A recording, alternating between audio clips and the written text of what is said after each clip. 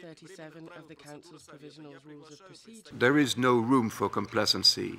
For transition to be sustainable, security has to be linked to development and to the Kabul process. The Afghan people must see tangible improvements to their daily lives, especially in terms of economic opportunities. It is more urgent than ever before, therefore, that the civilian side of transition proceed equally strongly and briskly. Thus, Bonn has come at a crucial time for this process to gain momentum. I leave UNAMA in excellent hands. You will see. Mr. Jan Kubiš is perfectly suited for doing even better than what we have been doing so far. He comes with the right spirit, the right enthusiasm, and the right background. I feel that uh, with your help, we will be able, and the Secretary General's guidance, to continue doing what UNAMA has been trying to do during this year and these last two years, and to respond to the needs of the Afghans. Afghanistan, Australia, Canada, Japan, Liechtenstein, Malaysia. Pakistan cannot be held responsible for the problems and the challenges afflicting Afghanistan. Afghanistan, the international community, and Pakistan must work closely and as responsible partners together in a cooperative manner and not rush to judgment or question each other's intentions.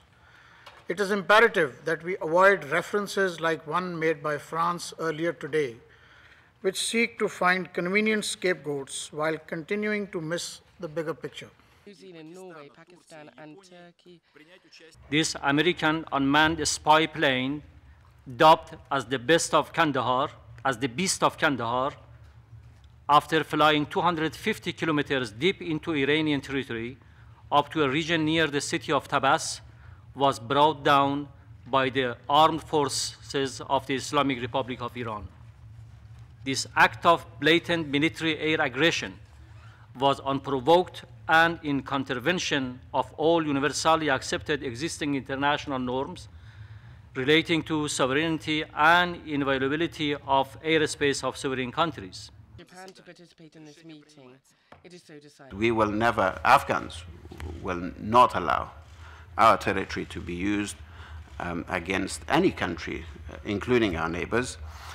Um, uh, and in particular, with regard to Iran, uh, um, we have been blessed with uh, a, uh, the understanding that Iran and the United States have shown in the last 10 years for Afghanistan's need to uh, maintain a balance in this relationship. On behalf of the Council, I welcome